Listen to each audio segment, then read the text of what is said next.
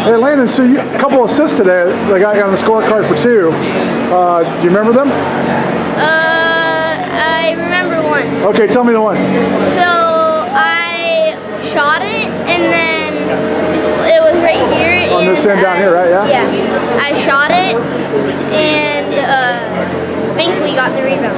Yeah, you shot it in, it bounced off the goalie a little bit.